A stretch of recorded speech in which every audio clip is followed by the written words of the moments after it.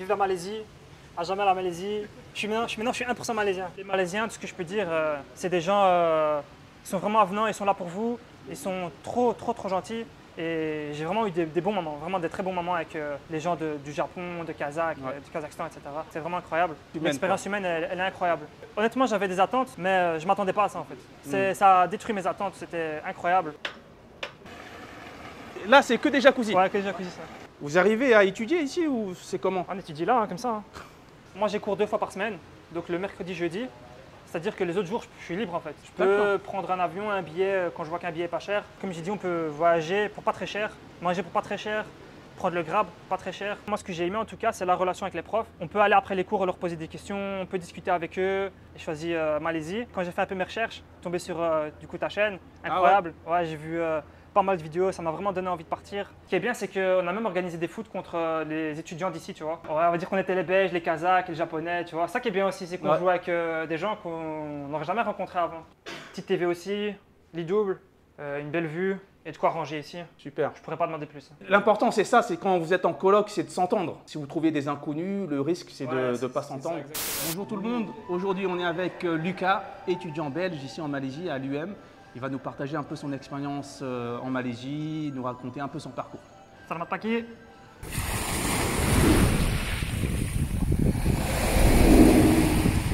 Lucas, tu pourrais te présenter rapidement?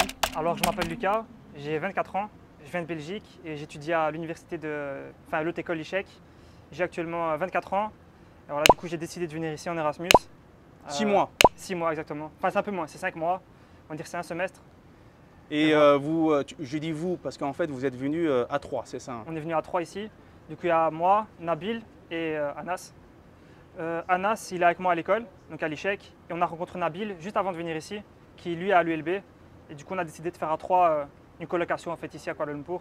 Et je pense qu'on a bien fait parce que euh, on est très content et aussi l'hôtel euh, incroyable. On va essayer de montrer hôtel. ça. ouais. Petite visite de la résidence de Lucas, le Invito.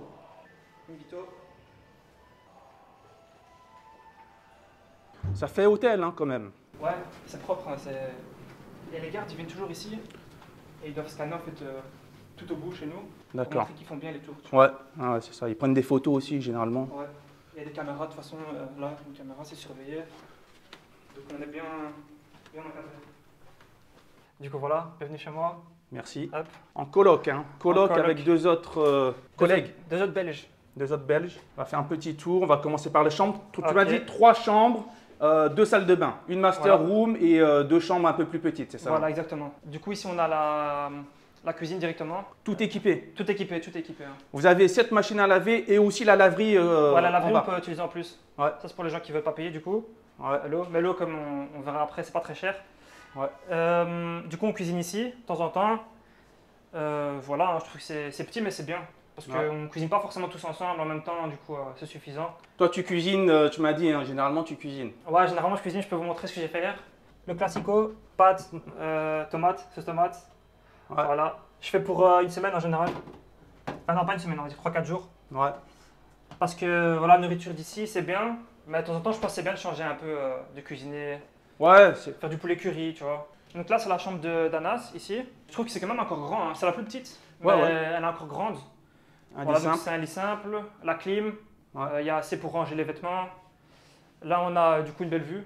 On a tout équipé. hein. Là, il est venu, il a juste posé sa valise. Ouais, Pas de vis-à-vis. Donc, ça, c'est la chambre d'Anas. d'Anas exactement. Bah, Là c'est par la deuxième chambre du coup. Ouais. On n'a pas montré, mais ici on peut régler, régler la clim. D'accord. Donc là, euh, on la règle ici. C'est vraiment comme un hôtel. Hein. Ouais, ouais, mais en fait c'était un hôtel avant, c'est pour ça. Ouais. C'était un hôtel, c'est devenu résidence. Du coup, on a un lit double Ouais. avec une petite TV. Master euh, bedroom, c'est la chambre de Nabil. Exact. Salam alaikum euh, Nabil. Désolé, on squatte un peu, on montre. Bon, ils sont pas là. Lui, il a une vraie salle de bain. Ouais, salle de bain ici. Il y a Euh, une douche aussi. Petite douche, ouais. Super. Et il a aussi une petite terrasse.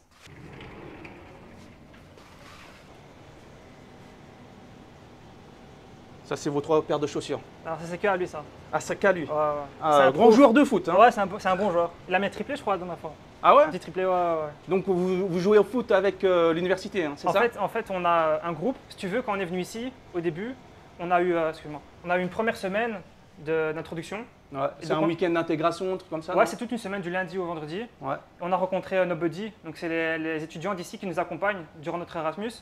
Et voilà, ils ont créé plusieurs, euh, plusieurs groupes en fait. Tu as le premier groupe sport, tu as le deuxième par exemple, ça peut être cinéma ou quoi, tu vois. Ouais. Et donc nous, on, on a vraiment participé à fond pour tout ce qui est sport. Donc le foot, on était là toutes les semaines, je crois, on a joué au foot. Ce qui est bien, c'est qu'on a même organisé des foot contre euh, les étudiants d'ici, tu vois. Alors le niveau?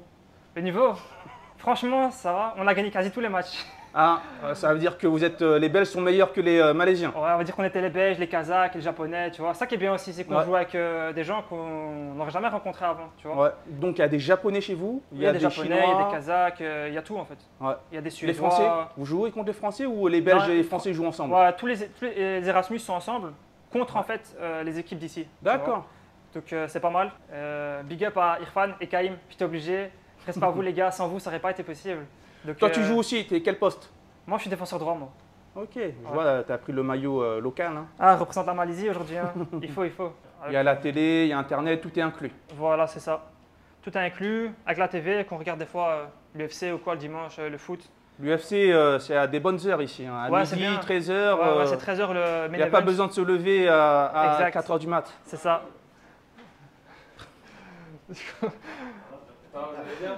Ça va Bah, Le propriétaire des lieux, Nabil.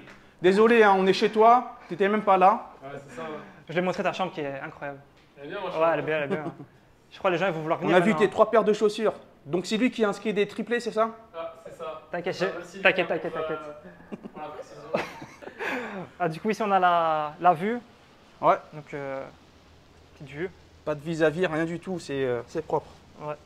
Voilà. Et du coup, ma chambre ici, avec la clim, encore une fois, ça sauve. Ah, il fait très chaud. hein. Ouais. Petite TV aussi, lit double, euh, une belle vue. Et de quoi ranger ici. Super. Je pourrais pas demander plus.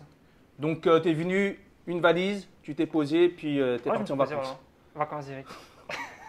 N'oublie pas les études, c'est important. Ah bien sûr. On va en parler juste après. Ok. Et voilà notre salle de bain pour finir. Donc ça c'est la salle de bain partagée. Entre moi et Anas, ouais. Ouais. Eh bien, hein. Ouais, ça va. Attention. il n'y a pas besoin de plus. C'est petit mais efficace. Ok, hein. En tout cas, euh, vous avez rangé avant qu'on vienne Non, c'est toujours propre comme ça. Ouais, ouais, Nabil, c'est toujours propre ici. Hein. Bien sûr. Ah. Pas de femme de ménage, on fait, on fait le travail nous-mêmes. Ah, voilà, voilà. Les hommes aussi, on s'est nettoyé. hein. Donc vous payez 4200 ringgit. Par mois, exactement. Simplement, ce qui est important de savoir, c'est que lorsque j'ai fait les démarches quand j'étais en Belgique pour euh, trouver un appartement ici, l'inconvénient, c'est que euh, souvent, les agents immobiliers nous proposent des contrats d'un an plutôt que des contrats de six mois de ce qu'on avait besoin. Ouais. Donc, la contrepartie, c'est qu'on paye un petit peu plus que ce que les gens. Euh, vont- payé sur un an, deux ans. Exactement. Donc, euh, c'est l'inconvénient, mais euh, on préférait payer un petit peu plus et avoir. Ce qu'on a ici, qu'on a ce montré, ici. euh, Ouais, mais c'est c'est- c'est magnifique ce que vous avez. C'est un hôtel. Et euh, on avait vu, donc toi tu payes un peu plus cher puisque tu as la master room. Exactement. Vous êtes a- battu pour la master room ou euh, ça s'est fait naturellement? ça s'est fait en. Même Il y en a qui pas. voulaient payer un peu moins, du Même coup, pas. ça. En 20 secondes, je crois que ça s'est fait. donc, euh, Mais l'important c'est ça, c'est quand vous êtes en coloc, c'est de s'entendre. Exactement, c'est très important. Parce que si, euh, si vous allez, euh, si vous trouvez des inconnus, le risque c'est Ouais, de ne pas s'entendre.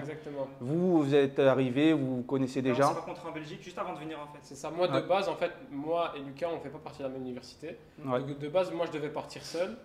Mais après, euh, j'ai pu discuter avec eux et on a décidé de faire une colloque ensemble. et, euh, D'accord, il m'a dit, euh, il y a un mec groupé euh, envoyé par l'université euh, Malaya et toi, tu es parti chercher. Ça. Exactement. Ça, Mais tu sais, Nabil. t'es pas le seul, hein, t'es pas le seul. Franchement, mais je l'ai fait euh, de manière euh, Naturel. Ah, je me suis dit, ouais, naturellement. Mais il y a quand même 600, euh, plus de 600 élèves, non dans la... C'est ça, c'est ça. Donc j'ai vu en fait, c'est le la fin de notre euh, mail, c'est .be. Et Ouais. C'est là que j'ai remarqué que c'était. euh, T'es pas le seul à le faire. Donc euh, moi je paye, 300. je pense, un peu plus de 300, donc 310 euros, je pense. Ouais. Euh, Lucas, toi tu payes combien 250 environ. 250. C'est- Exactement. Parce que Et- toi, tu as un lit double et la dernière chambre, c'est un lit simple. Ouais, exact. Et donc là, c'est, je crois, 10 euros, 15 euros de moins, je pense. Ouais, 250. 250. Quelque chose comme ça. Donc au final, ça fera 4, 900. 200. Ouais. Ouais. La clim, tu m'as dit à peu près 400 ringgit par mois, c'est ça. Ouais. C'est ça. Pour l'électricité, Euh, c'est 400 ringgit. 80 euros, quoi, grosso modo. Ouais, c'est ça. Et pour l'eau, on paye, je crois, 20 euros. Je crois. Non, 10 euros on a payé. Ah, ouais, 10 euros. 10 euros, ouais. Ouais, 10 euros par mois. deux pour- je sais pas, on a. Je franchement, peux, je peux pas- vérifier ça tout de suite. Ouais, tu peux. C'est tellement pas cher C'est- que. C'est c'est le comptable de l'équipe. Il faut toujours une, euh, un comptable dans, euh, parmi les, les colocs. Ah, je disais que du coup, on reçoit les, les factures, soit par mail, soit on peut descendre en bas dans la boîte aux lettres, euh, chercher Ouais. directement les, les factures. Facture d'eau, électricité. C'est ça. Le loyer, c'est euh, prélèvement automatique. C'est comment? Si Non, tu faut fais, payer. On fait le virement nous-mêmes. on a D'accord. une application qui s'appelle On Wise. reçoit- ouais, en Ouais. fait, on reçoit un, un mail qui nous dit voilà, vous devez payer tel mois. Donc, ouais, pour deux mois, on a payé 50 ringgit. 50 ringgit pour Donc, deux mois. Deux mois, Ça fait exactement. 10 euros, donc 5 euros par mois. Ouais, Ah, c'est c'est ça. rien. On divise par 3. Ah ouais, 5 euros divisé par 3, ça fait 1 euro et des Ouais, poussières. c'est ça. tu as eu des difficultés pour trouver, parce que je te pose la question, parce que c'est toi qui as cherché les, euh, le logement. Exactement. Les autres ont suivi. C'est ça. En fait, euh, la difficulté que j'ai eue, c'est que j'ai vraiment reçu au début, au départ, euh, énormément de refus parce que je voulais un contrat de 6 mois plutôt d'un an. Donc, Ouais. euh, pour les étudiants, franchement, ça ne va pas être un frein pour vous parce que à Kuala Lumpur, vous verrez qu'il y a énormément de choix C'est ça, de ouais. appartements.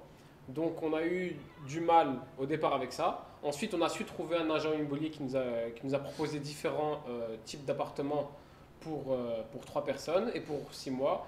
Et donc la seconde difficulté, c'est que souvent, vu qu'on était trois, on avait deux belles chambres et une chambre vraiment euh, sans, Sans- fenêtre, sans fenêtre. euh, sans Ouais. rien, donc vraiment, c'était pas vivable.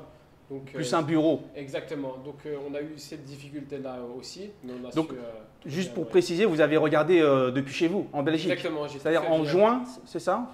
En fait, j'avais fait la demande déjà parce que de base, je vais partir seul. J'avais fait la demande en avril, mais on m'avait dit que c'était trop tôt. Ouais, c'est trop tôt. Donc euh, souvent, ouais, je pense que ça- vers juillet, ça va vraiment accélérer. C'est ça, oui. En gros, euh, comme tu l'as bien précisé, il faut pas que ça soit un frein. Il y a tellement de choix euh, que on n'est on n'est pas en Belgique, on n'est pas en France. Ici, euh, les, les- les appartements, il y en a énormément. Ça. Et s'y prendre trop tôt, euh, ça servirait à rien, sauf pour peut-être euh, apprendre et voir un peu le, le prix de, de- du type d'appartement que vous pourriez avoir. Et vous avez signé en On a signé, on a signé mi-août. si mi-août et vous êtes arrivé en septembre. Exactement. Donc c'est aussi un risque qu'on prend parce qu'on ne sait pas du tout sur quoi tomber. Donc c'est vraiment important de savoir euh, comment ça se passe. En fait, ici, moi, l'avantage euh, d'ici, c'est qu'on avait reçu bien avant une sorte de vidéo 3D de l'appartement. D'accord. vous pouvez en fait euh, parcourir chambres, exactement ouais. via une application 3D. Et c'est vraiment ça qui nous a facilité euh, dans notre choix. Ouais, c'est vraiment pas mal. Et là, on va continuer la visite. Et pas loin de l'école aussi. Pas loin de l'école, 5 minutes. Ouais. Ouais, tu m'avais dit 5 minutes en voiture, en grab. Ouais. Euh, vous avez quoi deux, deux- deux- deux jours de cours Bah, deux jour jours de cours, mercredi, jeudi. Et Mercredi, du jeudi. coup, euh, je crois que c'est 7-8 ringgit, non Environ. 7 ringgit, 8 ringgit le trajet. qu'on divise en 3 encore. 7 ringgit euh, par trajet, divisé Ouais. par 3. Ouais. Vous avez les mêmes modules, les mêmes cours Exactement. Quasiment, ouais. Ouais, on D'accord. Un cours différent, plus que mais- moi, mais euh, les quatre, on a quatre cours en commun sur, sur les cinq. Ouais, le, le fait d'être vraiment en coloc, ça aide sur budget- plein de choses. budgétaire, en fait. ça aide aussi. ouais. Ouais, niveau budget, entraide, et je pense euh, les liens aussi, ça, ça crée des, des liens forts. des. Vous ne connaissez pas avant de venir, Ouais, et euh, franchement, on n'a vraiment eu aucun problème. il n'est pas content parce que euh, Ouais, il a fait une erreur, Lucas. ouais, Lucas, il a dit qu'il a mis un triplé, mais c'est faux. C'était pas un triplé, c'était un quintuplé. J'ai mis 5 Moi, j'ai vu un triplé. Après, Ouais, mais après, tu t'es endormi ou je sais pas, mais. mis crois. C'était quand? Le week-end dernier? Non, c'est il y a deux semaines, je pense. il y a deux semaines. Ouais, il y a deux Deux semaines. semaines. On a créé un groupe entre Français et, et Belges, et on Ouais. organise quelques fives de temps en temps. Vous suivez la canne ensemble Ouais, moi, Hier, on- c'était hier, on a Donc, euh, Moi, je suis, mar- je suis marocain. Ouais, 2-2. Euh, ouais. T'es un peu déçu? Non, c'est 1-1. 1-1 Ah, Ah, c'est- ah, ouais, ouais, c'est c'est l'Algérie, 2-2, pardon. C'est l'Algérie 2-2. Donc Ouais. euh, 1-1. Un peu déçu, mais on est qualifié, donc euh, On va voir la suite. Tu suis euh, FC Molenbeek ou pas? Bien sûr RWDM. C'est pas FC Molenbeek. En fait, Oula. à Bruxelles, il y a trois clubs. Ouais. Il y a l'Union Saint-Gilloise, il y a Anderlecht et il y a RWDM. Et Ça- toi, c'est Moi, je suis plus sur l'Union Saint-Gilloise. Ça se voit. Je Pourquoi connais pas, mais ça se voit. On est premier, donc. euh, Ah, c'est pour ça. Ah, c'est facile de supporter les premiers. Moi aussi, alors. hein. Allez, Lucas, on Allez, suit. parti. On, on continue. Direction euh, piscine. Ouais. Donc, on est au 23e étage. hein. La piscine se trouve au euh, dernier étage? allez. 33e étage. Ah, on peut aussi montrer la salle de sport si jamais. euh, Ah, ouais, bien sûr, c'est très important. Voilà. Eh bien. hein.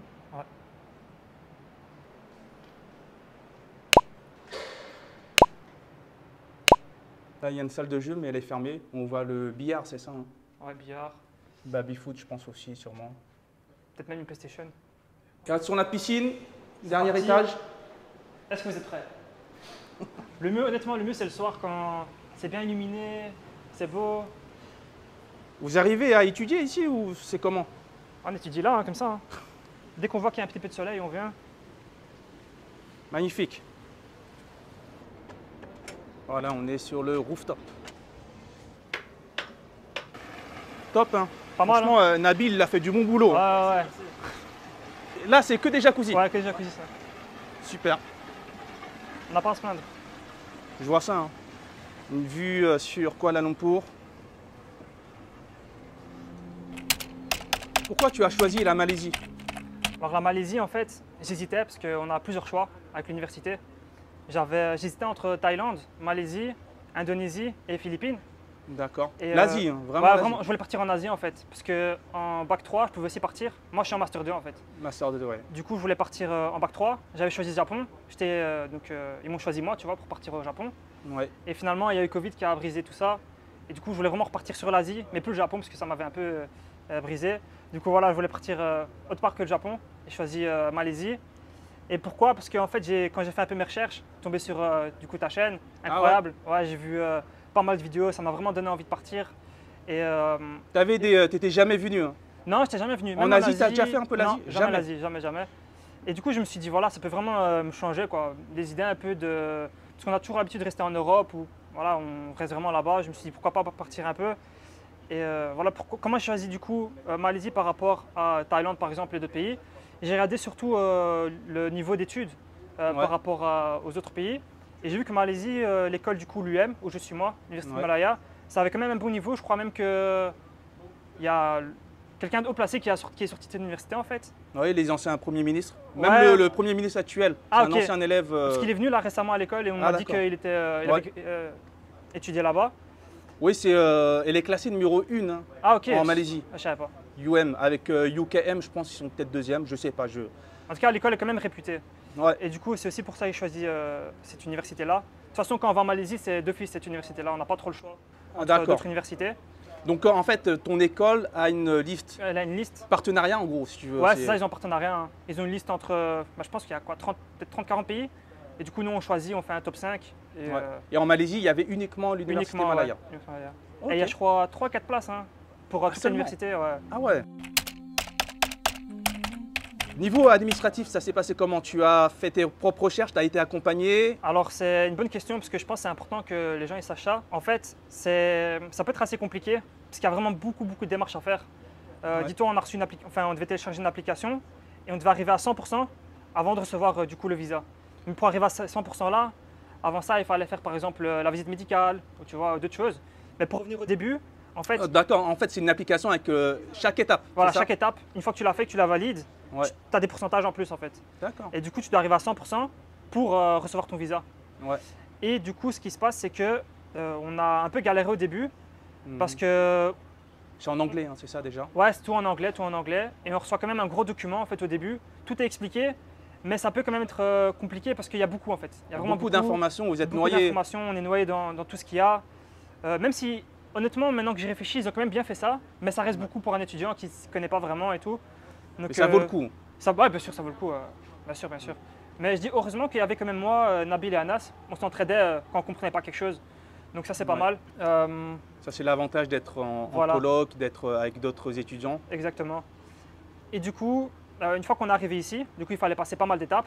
Euh, mais honnêtement, ça va si du coup, c'est envoyer des photos, etc. euh, mais faut, faut- en fait, il faut faire attention parce que, par exemple, une photo, on l'envoie pas à la bonne dimension. Voilà, ils vont, ils vont refuser. Ah ça oui. va retarder de deux Mm. semaines. Voilà, il faut, des choses, il faut faire attention parce que ça peut retarder de pas mal de temps quand même vos- votre, euh, votre visa. Les, démarches, tu les as commencées assez rapidement, hein, je pense en avril, mai, euh, avril-mai. ouais, assez tôt. En fait, il faut faire pas mal de choses, mais dans le temps en fait. Ouais. Et tu as eu le visa, le pré-visa, parce que je c'est une euh, C'est e-visa, je pense. ouais, e-visa. Le e-visa, ça on l'a reçu pour venir ici, il faut l'avoir. Ouais, Et là, quand on vient ici, on n'est pas, encore à 100%, hein. je crois on est à 80%. d'accord. Ensuite, quand on est ici, il faut faire euh, la visite médicale, il faut déposer son passeport euh, à l'école. Et du coup, quand on dépose son passeport, il faut attendre un mois avant de le recevoir. Donc tu peux pas sortir du Voilà, on territoire. ne peut pas sortir du territoire. Par contre, on peut, je pense, aller sur les îles, par exemple Perhentian, Tioman. Ouais, il y a Ça, beaucoup de choses voilà, à visiter en faire, euh, Malaisie. Il y a beaucoup de choses à faire de toute façon. Donc en un mois, on va dire, vous pouvez visiter la Malaisie. Euh, comme ça, vous préparez un peu euh, à ce qui arrive par la suite, donc les autres voyages. Et, hum, et voilà, juste je dirais quand même être assidu dans tout ce qui est euh, administratif, c'est important de, de bien savoir Ouais. ce qu'il faut faire. Pour bien suivre, si vous suivez chaque étape, Si on suit chaque étape, il n'y a pas de souci normalement à se faire. Et de toute façon, l'école est là pour vous aider, mais le souci, c'est qu'on est vraiment, comme j'ai dit beaucoup, 500, 600 étudiants. Du coup, ils ne savent pas tout régler directement. C'est pour ça qu'on a Ouais. des, euh, des retards des fois. vous êtes arrivé en septembre, vous avez commencé les cours, euh, tu m'as dit en octobre parce que vous avez eu Ouais. un mois euh, sans cours. Ouais, c'est ça. En fait, nous, je pense qu'on a eu un parcours un peu atypique parce que avant de venir ici, je crois euh, mi-septembre, il faut en fait choisir ses cours sur une plateforme en ligne. Et le problème, c'est que il faut vraiment être rapide parce que tout le monde va choisir ses cours en même temps. Et le problème, c'est qu'ils mettent 5 cours, 5 places par cours. Du coup, en fait, euh, tout le monde se bat pour avoir les cours. Et au final, euh, comme moi et du coup mes colocs, on s'est retrouvés sans cours. Pourquoi vous avez, euh, vous avez choisi en retard ou les autres Non, ont on été était beaucoup directement connectés. C'est juste qu'en fait, il n'y a, pas- y a pas de place. Il n'y a pas assez de place. Ouais. Il faut, une fois qu'on vient ici, je l'ai compris que maintenant, mais il faut envoyer un mail euh, au prof auquel tu vas citer au cours, en fait, pour que lui Ouais. libère une place pour toi spécifiquement. Euh, Mais faut- tu as les contacts de tous les profs? Voilà, tu les as. Il faut aller sur du coup, le site. Le site, normalement, il te le donne. Le site de l'université De l'université, exactement. Tu as tous les cours. Du coup, moi, comme je fais euh, business, j'ai dû prendre des cours d'a- d'administration Ouais. et de business. D'accord. Du coup, là, j'ai dû choisir euh, soit trois cours de master, ce qui revient à 30 crédits. Un cours de master égale 10 crédits. Soit 6 cours de bachelier. Parce qu'un cours, c'est 6 crédits. Et au D'accord. final, je dois arriver à 30 crédits. Ouais. ça, ça peut sûrement changer parce que moi, je viens de la Belgique. Je ne sais pas comment ça se passe en France. Mais du coup, Mm. ça, c'est pour vraiment euh, mon école. Et du coup, j'ai choisi 5 cours, moi, personnellement. Un cours de master et 4 cours de bachelier. Et en fait, euh, je peux déjà dire que là, en fait, je suis à la fin de mes études.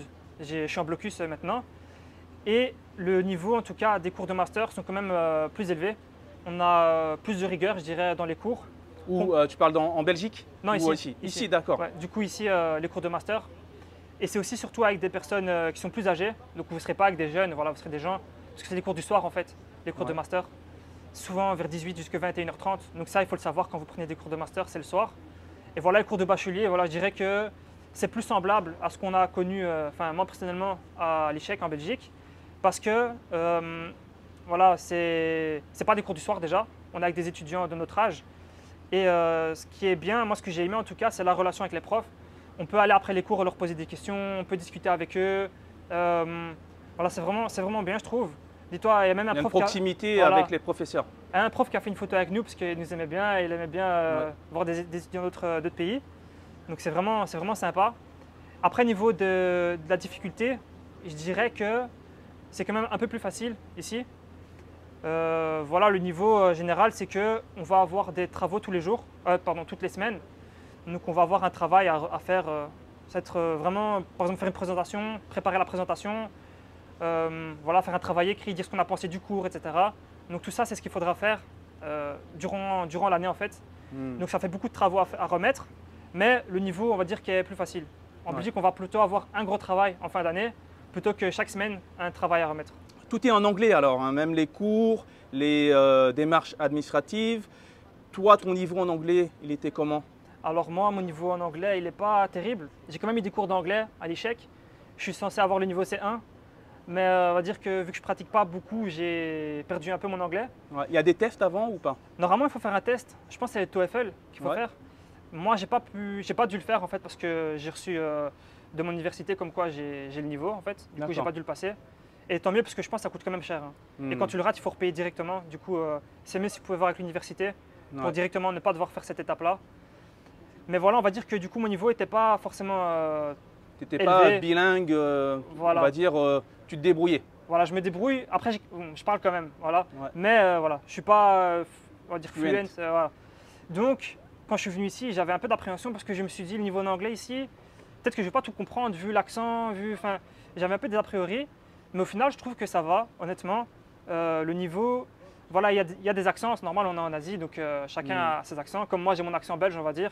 Ouais. Euh, Et surtout parle- qu'il y a des étudiants de tous les pays. Ouais, moi je suis avec des Kazakhs, je suis avec des Japonais, je suis avec. euh, Il y a des Indiens aussi, donc euh, ouais, il y a tout.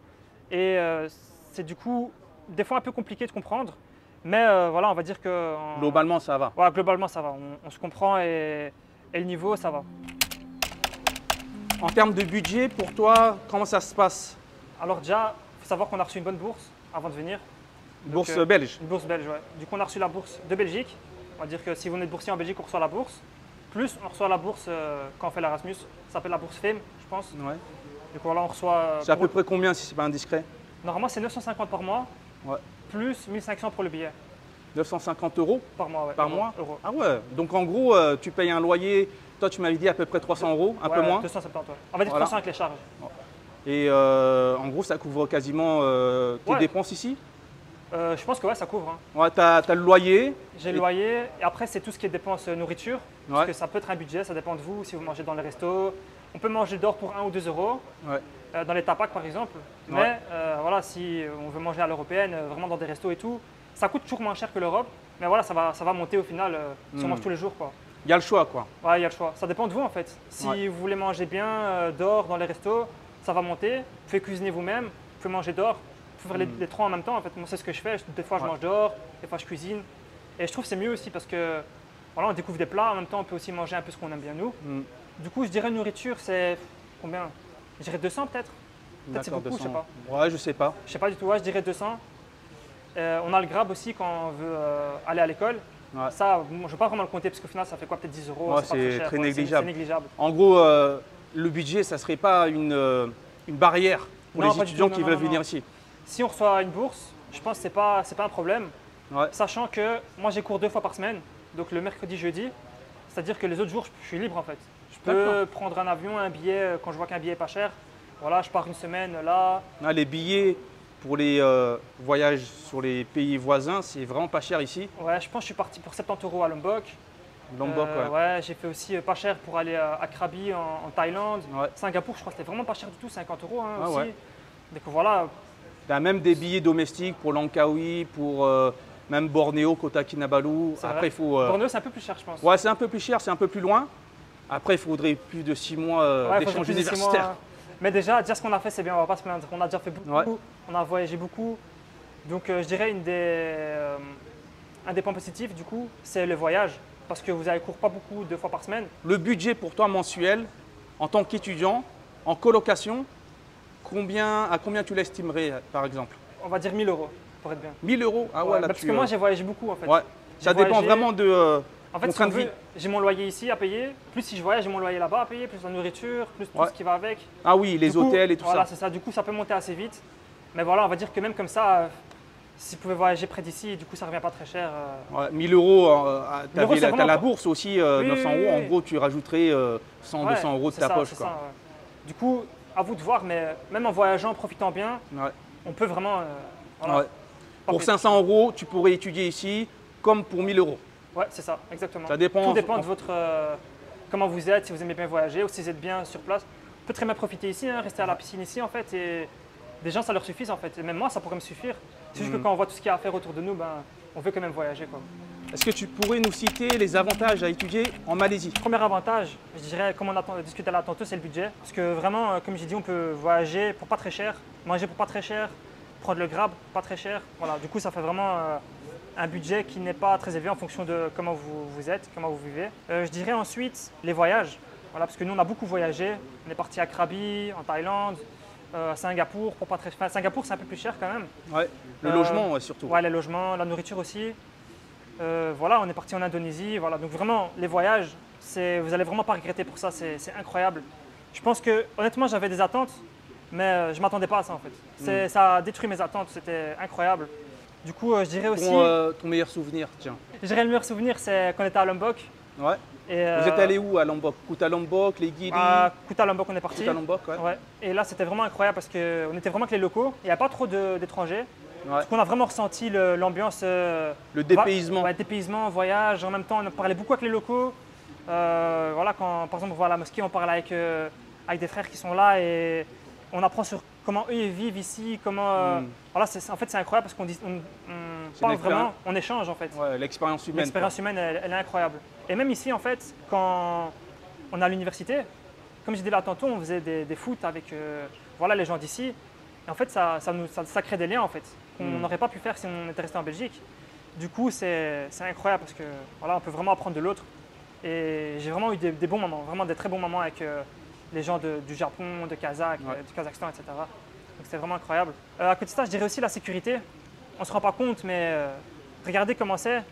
Comment on pourrait penser qu'ici, c'est pas sécurisé? On a des gardes en bas. Je ne sais pas si vous avez vu en rentrant, mais on a des gardes qui se relaient en fait tout- toutes les heures. même, il, y en a, il y a des gardes partout en fait. Je crois qu'il y a peut-être 20 gardes ici. euh, c'est incroyable. Du coup, niveau Tu sécurité. sens vraiment bien en Ah oui, oui, sécurité. oui, oui. Vraiment. J'ai même pas une fois pensé à ma sécurité en fait, parce que c'est incroyable. On est, euh, on est vraiment bien. Les la- Malaisiens, tu les trouves euh, plutôt honnêtes. Par exemple, l'agent immobilier, il a été très réglo avec Ouais, vous. voilà, il n'y a pas eu de exactement. soucis. Du coup, on n'a pas, on pas eu de soucis. Les Malaisiens, tout ce que je peux dire, euh, incroyable. C'est des gens euh, qui sont vraiment avenants, ils sont là pour vous. Par exemple, quand on est arrivé ici, on avait un groupe avec les buddies, les, gens, les étudiants qui t'accompagnent ici, et ils étaient toujours présents en fait. Ouais. Dès que j'étais malade, ils me disaient Ok, tu dois aller là-bas, tu dois faire ça. Euh, je viens maintenant devant chez toi si tu as ça à pas, je t'apporte des médicaments. Bref, vraiment, ça c'est un exemple, mais il y en a mille en fait. Ils sont trop, trop, trop gentils. Ça m'a vraiment ouvert les yeux en fait. Euh, Pour être honnête, ça m'a vraiment ouvert les yeux sur comment euh, nous, des fois, on perçoit les choses. Et en fait, on ne se rend pas compte que voilà, des petites choses, on pourrait les laisser de côté. Et il faut, faut plutôt être simple en fait. Il faut être simple dans, dans comment, dans comment on est, nos rapports avec les gens. Tu vois, nos rapports avec Ouais. les gens aussi, c'est important. Et euh, si c'est une chose qui m'ont appris, c'est vraiment ça. Être gentil avec les gens, souriant, euh, avenant. Voilà, c'est vraiment ça.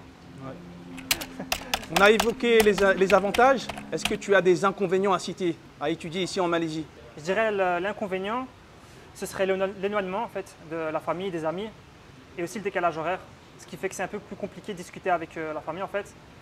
Euh, Moi, Il y a 6 heures à 7 sept- heures en plus. Ouais, 6 à 7 heures. Là maintenant c'est 7 heures de, décalage. Du coup voilà, c'est compliqué, mais euh, on sait qu'il y aura un retour en fait, donc au final on s'y fait.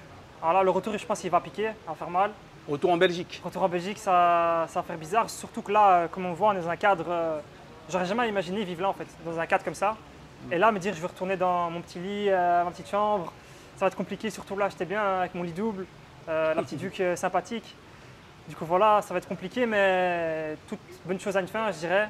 Ouais. Euh, ça- Peut-être que ça va te donner l'envie de voir un peu plus loin plus tard, de t'installer ici. Ou... Ben, J'avais cet objectif en fait, euh, pourquoi pas de, de venir habiter ici, mais j'ai vu euh, que c'était compliqué quand même. Ouais, ouais, ça reste très Ouais, j'ai compliqué. vu que c'était assez compliqué. Ou bien pourquoi pas venir six mois, tu vois, euh, Mhm. sortir, rentrer et après bouger un peu. Mais voilà, en tout cas, c'est sûr que ça m'a vraiment euh, personnellement changé et euh, m'a ouvert l'esprit en fait surtout. On parle des inconvénients, mais je trouve que des avantages en fait, c'est ça qui est fou. Donc, euh, La nourriture, tu m'avais dit ah, aussi. pardon, la nourriture, c'est ça, c'est propre à chacun, ça. C'est vrai, la nourriture, c'est hum, propre à chacun. Mais moi, déjà, du- j'avais du mal avec euh, la nourriture asiatique. Ouais. Du coup, quand je suis venu ici, je tombais malade directement. Je sais pas si c'est en lien avec ça, peut-être la clim aussi. Mais euh, voilà, du coup, c'est assez piquant. Euh, il faut chercher, il faut trouver. Et une fois qu'on a trouvé nos habitudes et tout, ben, c'est plus facile en fait de savoir où manger, quoi manger. Mais je dirais qu'au début, ouais, ça, ça peut être compliqué de manger euh, souvent du riz en fait, c'est ça, souvent Ouais. du riz, du poulet. Pour euh, Nabil, euh, lui, par contre, il a dit que Ouais, non, ça lui posait aucun problème. lui, euh, il aime bien. Comme quoi, ça dépend vraiment des personnes. Voilà, c'est ça. Rien d'autre. En, en fait, il y a beaucoup d'avantages et très peu d'inconvénients. C'est ça, ouais. Je dirais vraiment, si il y avait moyen d'avoir ma famille ici, mes amis, en fait, c'est bon quoi. Ouais, t'aurais tout eu. Ouais, c'est bon alors. Au bout de cinq mois, si tu devais euh, résumer ton expérience, À tout ce qu'on a vécu, tous les gens qu'on a rencontrés, toutes les choses euh, qu'on a pu avoir euh, ici, c'est des choses en fait qui nous changent et ça nous ouvre l'esprit aussi. Du coup, voilà, je regrette vraiment pas mon voyage ici en Malaisie. tu recommanderais à tout le monde? Ouais, ouais, franchement, je recommande. Les gars, il faut savoir qu'ici, on peut avoir beaucoup d'a priori, mais comme vous voyez, c'est peut-être pas comme ce qu'on imagine en Europe. Donc il faut vraiment avoir l'esprit ouvert, je dirais, et rechercher un peu, voir comme vous faites ici maintenant une vidéo voilà, sur comment c'est la vie en Malaisie. C'est ce qui va vous permettre en fait de, de vous ouvrir l'esprit et de, de voir qu'en fait des endroits comme ça, c'est magnifique en fait. Les mots de la fin avec euh, Nabil, si vous aviez des conseils à donner aux futurs étudiants, ou peut-être aux futurs parents aussi, qui, euh, qui aimeraient envoyer leurs euh, enfants étudier ici en Malaisie, des conseils à partager ou pas? Euh, premièrement, on va commencer par les points négatifs. Je pense qu'il faut vraiment être patient au début. Parce que comme euh, Lucas l'a dit précédemment, tout le processus administratif il est assez long, que ce soit d'un point de vue visa ou d'un point de vue scolaire, dans le choix des cours. Donc Faut patient, Être vraiment patient. Ensuite, par rapport aux parents, franchement, la Malaisie, c'est safe. Il n'y a vraiment pas d'inquiétude là-dessus. Que ce soit euh, dans les grabs, euh, les grabs sont localisés de- du départ jusqu'à l'arrivée. Euh, dans la rue, on peut sortir vers 23h, minuit. Il n'y a rien, aucun Ouais. souci. même au point de vue des vols, il faut quand même rester prudent. Faut pas, euh, Toujours rester prudent. ça, ouais. faut toujours rester prudent, mais euh, franchement, on n'a jamais eu de soucis en tout cas en, 4-5 mois ici. Au niveau des cours, Et au niveau des cours, je pense que la, la grande différence, c'est qu'ici, on demande plus un travail de manière euh, hebdomadaire, c'est ça? Ouais. En Belgique, par exemple, nous, on a une grosse session d'examen qui vaut 100% de notre note, tandis qu'ici, c'est souvent 50% durant l'année et 50% l'examen final. D'accord, faut être régulier. Exactement, il faut être- s'organiser. Par exemple, par exemple, personnellement, ce que j'avais fait, c'est que euh, j'avais créé une sorte de, de planning, vraiment euh, savoir concilier les cours et également euh, le La vie extrascolaire. Voyager, exactement, Ouais. voyager un petit peu. Donc, euh, je pense que c'est le, gros conseil ouais, que je dirais ça. hein. Vive la Si tu devais dire un, un mot sur la Malaisie, ça serait quoi? Vive la Malaisie. À jamais la Malaisie. Je suis maintenant, je suis, maintenant, je suis 1% malaisien. Comme ça, vous savez. Et toi, Nabil? Un mot, un mot sur la Malaisie? Moi je dirais euh, paisible. Paisible, parce que c'est ce qu'on a, je pense qu'on a Ressenti? trouvé ici. C'est Ouais. ça. Bah, merci beaucoup en tout cas, Nabil, Lucas. Il n'y a pas Anas, mais on, euh, merci quand même, on, est, on a visité ta chambre. C'est-. J'espère que la vidéo elle sera utile. Parce que le but de cette vidéo, c'est de partager votre euh, expérience. On a fait trois vidéos sur les étudiants. Euh, on espère que les étudiants pourront euh, peut-être s'identifier à l'un de ces trois profils. Et voilà, bah, merci beaucoup en tout cas. Et à la prochaine et surtout, étudier, il ne faut pas, faut pas lâcher. Ça marche. Abonnez-vous.